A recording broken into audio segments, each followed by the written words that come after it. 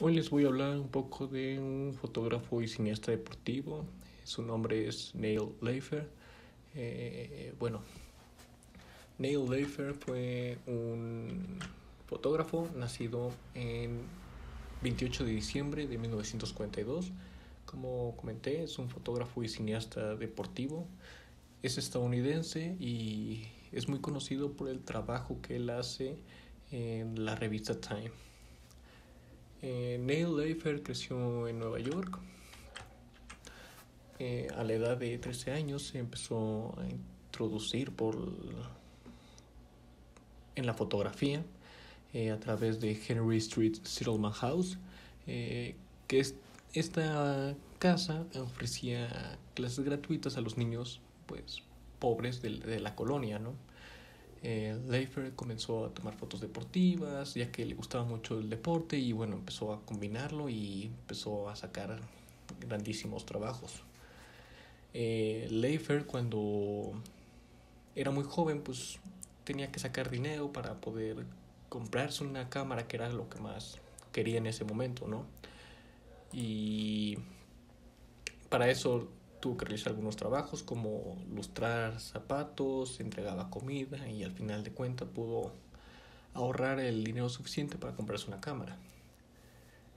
Eh, Leifer tenía acceso gratuito a los juegos de los gigantes de Nueva York. El trabajo que él realizaba eh, ahí era empujar a los, a los aficionados que estaban en silla de ruedas eh, hacia el estadio. Él usando, usaba esa entrada como un boleto gratis y bueno, se llevaba su cámara y se le colocaba dentro del campo con los fotógrafos. Eh, Leifer tuvo la suerte de que pudo entrar gratuitamente al, al estadio en que jugaban los gigantes y contra, contra Baltimore, donde se disputaba un título de la NFL. Esto fue el 28 de diciembre de 1958. Este juego se hizo muy famoso por... Se hizo muy, se hizo muy famoso el juego por eh, ser el primer juego en irse a tiempos extra en, en, en la liga y también se le conoce como el mejor juego jamás jugado. Leifer captó, pues, capturó varias imágenes de, de, de, de touchdowns ganadores de, del, juego, del juego y posteriormente lo vendió a Sports Illustrated. Bueno, aquí los seguidores de Sports Illustrated eh, les gustó mucho el trabajo de Leifer y pues bueno, rápidamente lo contrataron y se hizo muy famoso y tuvo su primera portada a la edad de 19 años en 1962. Leifer también era pues conocido, era eh, muy muy atrevido Leifer, le gustaba tomar riesgos y tuvo la fortuna de estar entre la pelea de Cleveland Williams y Muhammad Ali eh, para esta pelea del título del peso pesado en el 66.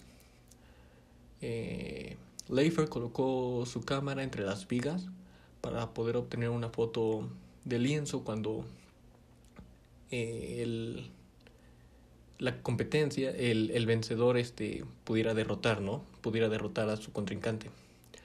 Eh, esta fotografía que hizo Leifer eh, dicen que es la única que tiene colocada en su casa y también considera que esta fotografía es una de las más importantes e icónicas para, para el deporte, ¿no? Eh, fue elegida también como la mejor foto deportiva para The Observer. Leifer dejó el deporte para, para tomar una gama más amplia, otros, otros retos, y, y fue con Time Magazine.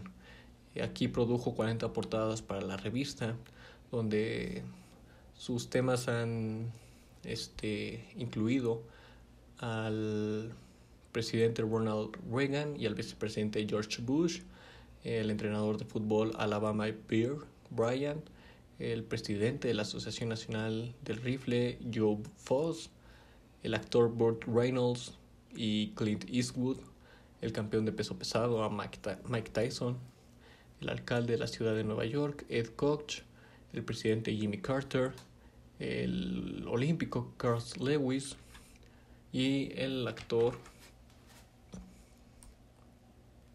y el actor Paul Newman. En 1992, Leifer cubrió los Juegos Olímpicos del Invierno de Francia, de en Barcelona, en España, en Sydney, Australia, y en total han sido los 15 Juegos Olímpicos que él ha cubierto en toda su carrera.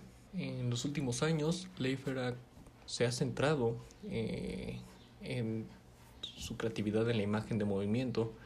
Él es director, es productor, eh, y también escritor de películas eh, que incluyen largometrajes, cortometrajes y documentales.